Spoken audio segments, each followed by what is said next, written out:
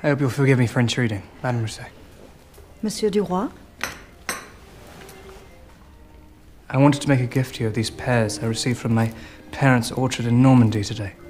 Oh, how very kind.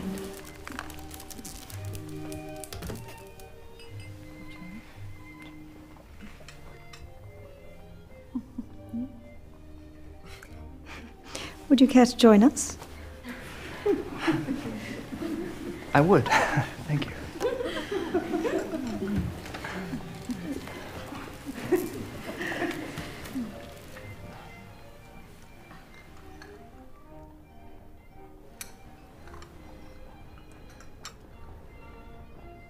Will you eat a pear, Madame Rousset?